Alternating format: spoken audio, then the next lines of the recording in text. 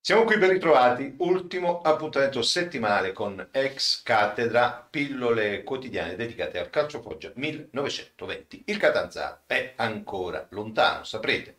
Il Foggia scenderà in campo soltanto lunedì sera e lo farà conoscendo già i risultati di tutte le altre eh, formazioni. Questo è un piccolo grande vantaggio per uh, la formazione di uh, Zdenek uh, Zeman che mh, a 270 minuti dalla conclusione della stagione regolare ha ancora un obiettivo precipuo da conseguire, migliorare la sua posizione di classifica. Il settimo posto comunque rappresenta un uh, traguardo non disprezzabile alla luce anche del fatto di quelli che erano stati propositi alla vigilia di questa uh, stagione, ma oggettivamente c'è la possibilità di fare meglio e dunque non bisogna lasciare nulla uh, di intentato. Oltretutto questo turno, il terzultimo della regular season, propone due o tre eh, sfide che possono agevolare il cammino del eh, Foggia. Beh, c'è il Monopoli che sarà impegnato con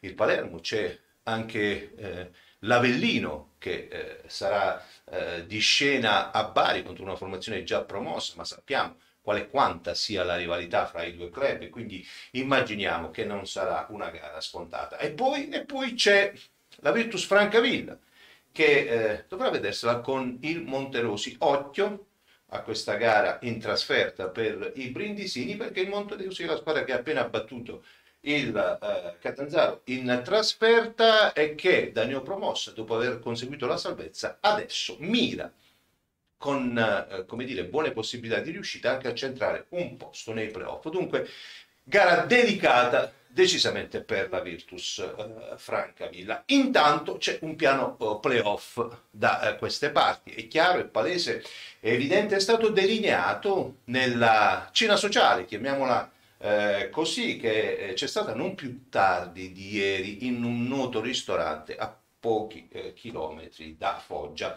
C'era la squadra, c'era lo staff tecnico, c'erano tutti i dipendenti e i collaboratori, c'era evidentemente il presidente eh, eh, canonico che aveva promesso di pagare una cena nel caso in cui Foggia avesse conseguito quattro vittorie di fila ed è stato di eh, parola, ma quella è stata l'occasione per guardarsi negli occhi e per, come dire, eh, mettere a punto una sorta di braccio eh, di, come dire, eh, di, di intesa fra uh, le righe per uh, puntare al massimo in questa uh, fase finale della stagione eh, regolare e in ottica playoff.